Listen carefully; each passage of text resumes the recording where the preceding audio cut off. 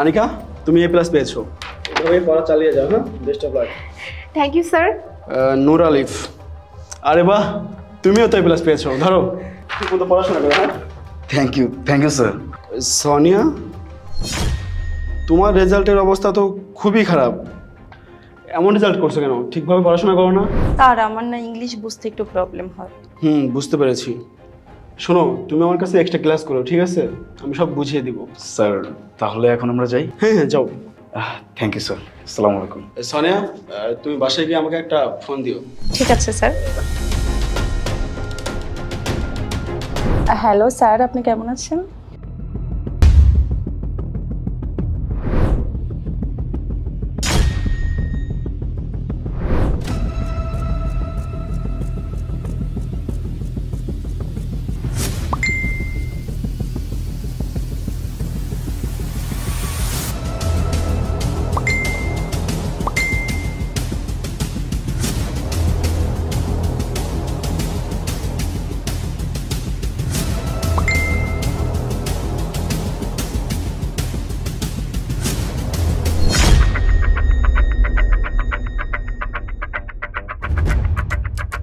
আচ্ছা।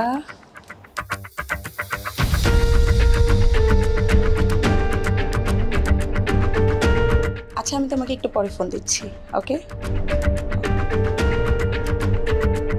এই কি হয়েছে তোর সমস্যা কি? এতবার ফোন দিচ্ছিস কেন? এই কি সমস্যা তোমার? তোমার ফোন ধরতেছো না কেন? তোর ফোন ধরবো মানে? কেন?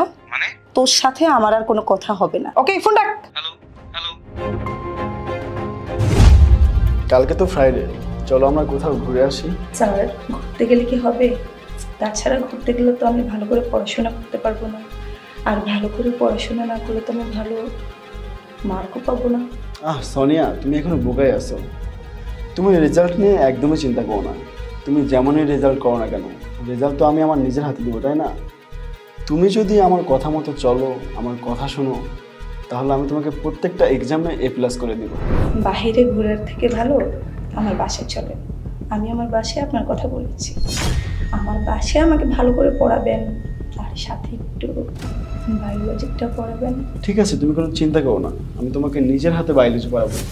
দরকার হলে প্র্যাকটিক্যালি বুঝিয়েও দিব ঠিক আছে? ইংলিশ তো অনেক দিন পড়ালাম। আজকে তোমাকে বায়োলজি পড়াবো।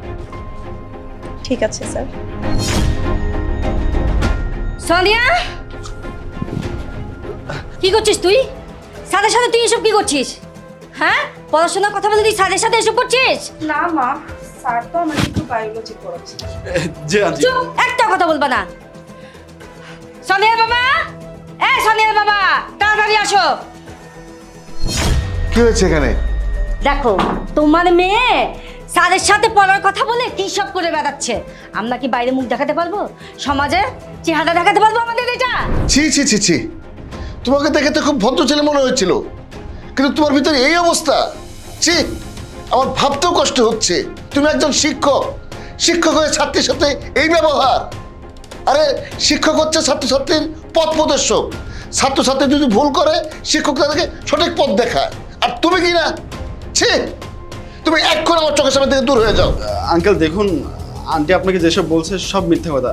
এমন কিছুই হয়নি। আপনারা শুধু শুধু আমাদের মিথ্যে বেলেম দিচ্ছেন। বিশ্বাস করুন আন্টি একটা এই চুপ একটা কথা বলবা না তুমি।